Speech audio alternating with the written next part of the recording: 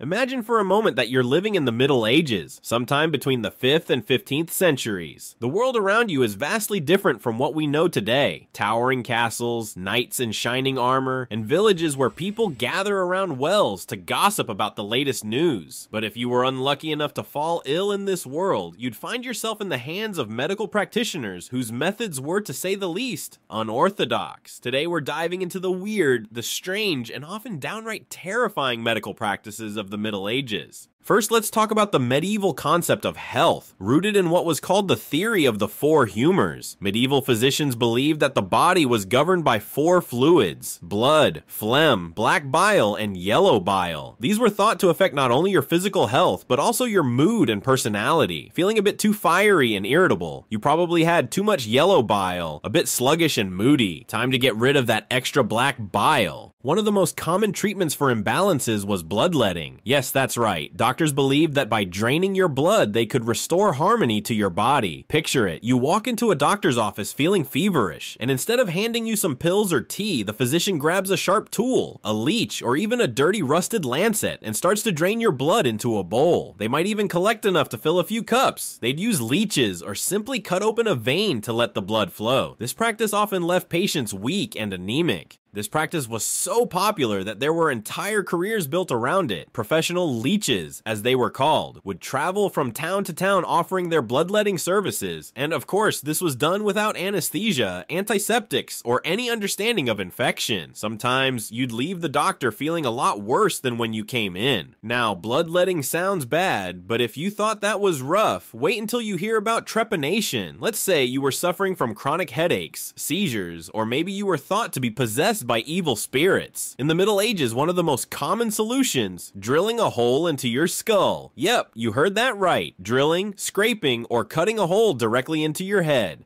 Trepanation was believed to relieve pressure, cure epilepsy, or release demons from the mind. But without modern medical knowledge or surgical tools, can you imagine how dangerous and painful this procedure must have been? Despite the risk of infection or brain damage, some people actually survived, and their skulls, bearing the holes from this bizarre surgery, have been found by archaeologists. What's truly baffling is that trepanation wasn't exclusive to the Middle Ages. It was practiced by ancient civilizations too, but in medieval times it became a common go-to for many ailments, even though there was little understanding of the brain or why people got sick in the first place. Next up, we have a practice that might sound odd, but was considered cutting-edge diagnostic medicine in its day, urine analysis. Doctors in the Middle Ages didn't have blood tests, x-rays, or MRIs, so they relied on more, shall we say, earthy methods. A patient's urine was the key to unlocking the mysteries of their health. Physicians would examine its color, smell, and even taste it to determine what was wrong with you. Yes, you heard that right, they tasted urine.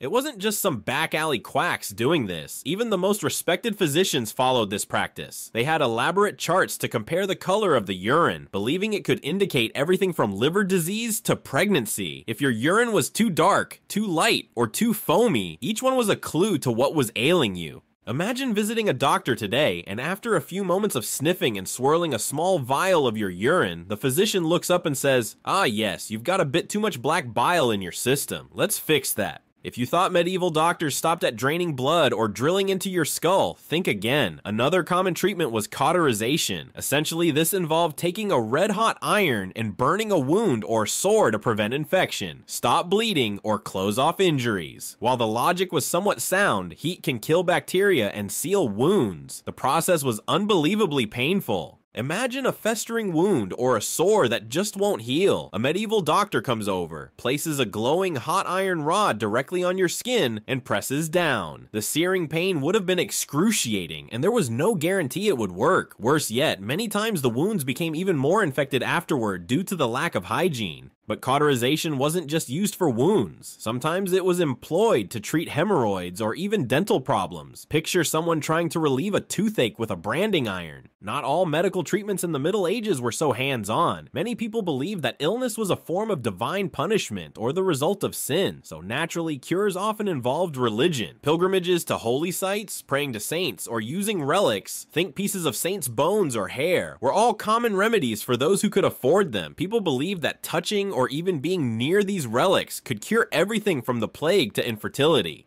In addition to relics, magic potions, herbal remedies, and charms were widely used. Apothecaries mixed up concoctions that were equal part superstition and natural medicine. One infamous potion involved mixing wine, herbs, and the testicles of animals. Yes, animal parts were often key ingredients in medieval medicines. But not all potions were based on animal parts. Some were quite practical, using herbs like sage or lavender to soothe ailments. Unfortunately, they were usually mixed with other less helpful ingredients like lead, mercury, or ground up gems. It was a wild mix of the practical and the bizarre. Now, let's talk about dentistry, or the medieval version of it. Toothaches were common back then, just as they are now, but medieval folk had a very peculiar theory about what caused them. Many believed that toothaches were caused by tiny worms living inside your teeth. Yes, worms. If you had a bad tooth, it was said that these little creatures were gnawing away inside it, causing you all that pain. So, how did they get rid of these tooth worms? Well, medieval remedies for this involve burning herbs and directing the smoke into your mouth to smoke out the worms. If that didn't work, a more extreme solution was tooth extraction. Without anesthetics, this was as horrifying as it sounds. If you had a bad tooth, it was yanked out with pliers, often by a barber surgeon. Can you imagine the pain? Speaking of barbers, did you know that in the Middle Ages, your local barber might not just give you a haircut, but also perform surgery? Barber surgeons were the go-to practitioners for everything from pulling teeth to amputating limbs. They were essentially jacks of all trades, combining grooming services with medical procedures. If you needed an amputation, you'd be relying on your friendly neighborhood barber to grab his saw and hack away at the infected limb. With no anesthetics and no sterilization, you can imagine how nightmarish this could be. And yet barbers were often the most accessible doctors for common folk. Speaking of pain, let's discuss barber surgeons. These guys were the jack of all trades in medieval medicine. Need a haircut? They've got you covered. Tooth extraction? No problem. Amputation? They'll do that too. Barber surgeons were known for amputations. They were done quickly and without anesthesia. The barber surgeon would use a saw to cut through bone and flesh. To stop the bleeding, they'd use hot irons to cauterize the wound. As we take a step back from this wild tour of medieval medicine, it's clear that while these practices may seem bizarre to us today, they were based on the knowledge, or lack thereof, that people had at the time. Without modern science, these methods were often the best they could come up with, even if they seem terrifying or ridiculous now. So next